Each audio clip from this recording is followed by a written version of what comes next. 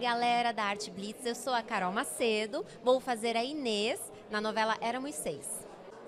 Gente, essa novela é muito especial para mim. Né? Eu até já contei, a minha mãe, ela ama Éramos Seis, amava Éramos Seis. E ela tinha, quando, quando saiu que ia rolar o remake de Éramos Seis, ela ficava no meu pé toda hora perguntando se eu já sabia quem estava fazendo, e diretor, e produtor. E eu, ai mãe, não, não sei, não sei. Então, assim, quando eu fui convidada para fazer a novela, eu fiquei muito feliz, e principalmente por ela, porque ela tá super encantada. E a minha personagem é linda, a história dela é linda a história da família dela é uma história muito forte e muito assim. Vai ser emocionante, é o que eu posso dizer. E a história de amor dela também vai ser linda demais. Ela é apaixonada, ela ama desde criança o Carlos, que é o filho mais velho da dona Lola, que é a Glorinha Pires, então, e o Carlos é o Danilo Mesquita.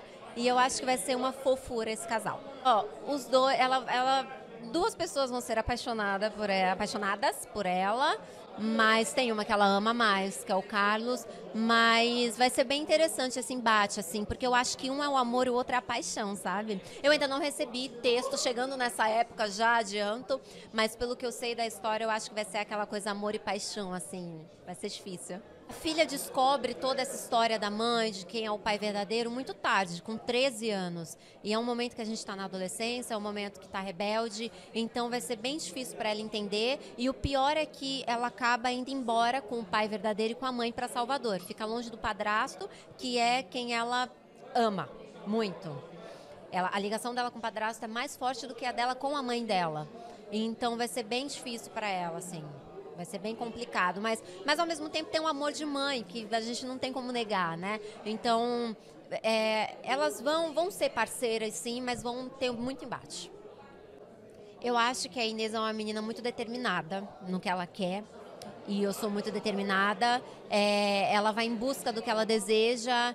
É, para a época dela, trabalhar, é, estudar, é, ter uma profissão naquela época, uma mulher, era muito difícil. Era, era, era, posso dizer que era um pouco raro. Então, ela era enfermeira, ela trabalha, ela tem o dinheiro dela, por mais que a família dela seja rica, o pai dela é muito rico, ela quer o dinheiro dela. Então, eu sempre fui assim também. Eu, eu sempre fui muito independente dos meus pais. Eu saí de casa cedo e para morar na minha casa, para ter minha casa, para trabalhar, mesmo meus pais sempre perto de mim, me dando todo o apoio, dando todo todo tudo, tudo que eu precisava de carinho, de, de, de, conforto deles, mas eu era, eu sempre fui muito independente. Então acho que isso é bem parecido com a Inês. É, a Paulina foi uma personagem muito forte, né? Era pura emoção, a história dela era muita emoção. E eu vim da K2 que era toda espalhafatosa, toda para frente, mas era uma rotina de gravação bem intensa. Era uma família. Assim, Malhação é uma família, não é clichê, realmente é uma família, porque a gente grava bastante, convive bastante. Então a K2 foi bem intensa, mas foi uma delícia. Depois logo veio a Paulina, cenas difíceis, cenas fortes. Eu gravava de segunda a sábado, todos os dias. E, mas também uma delícia, porque eu acho que quando a gente gosta muito do que a gente faz, meio que é é uma brincadeira e ao mesmo tempo é um trabalho, sabe? É, não fica tão pesado, não fica chato.